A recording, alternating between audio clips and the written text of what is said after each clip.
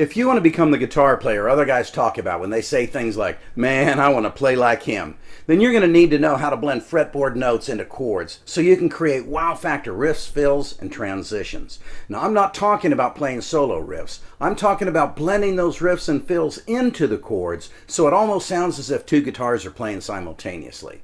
Now, you can always play around with the basic fretboard notes that you learned and play them up and down the fretboard like this.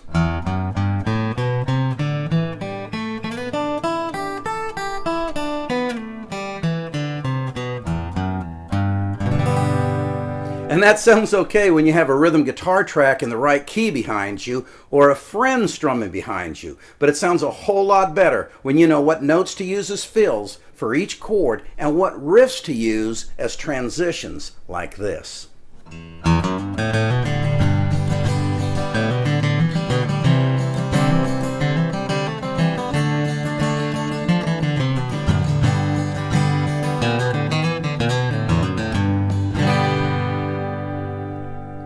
And that's what level we want to be able to get to by the end of this series. I want you to be able to create your own little bag of tricks filled with wow factor notes that you can reach into and grab anytime you need to create a riff fill or a transition. Look, nobody plays like you. We all have our own unique style of playing and expressing ourselves on guitar.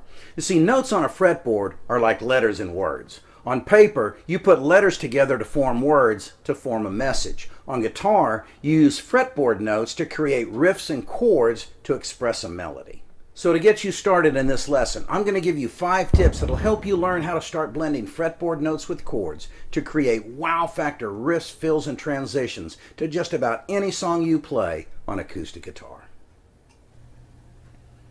Okay, so tip number one is find the bass notes for each chord in the song you're about to play. So for our practice session, I'm going to use a common four chord progression D, B minor, G, and A. But you're not going to be strumming the full chord. You're only going to be finding the bass note and strumming the bass note or root note of each chord.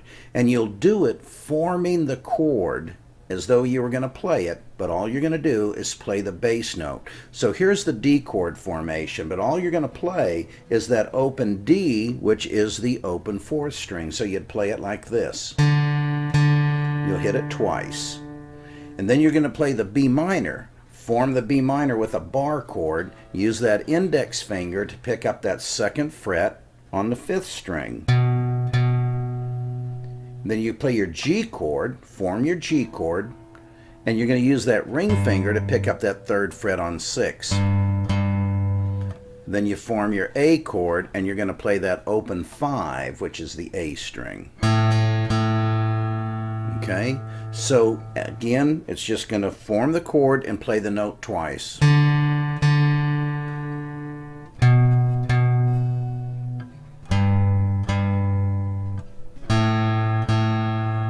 Just like that.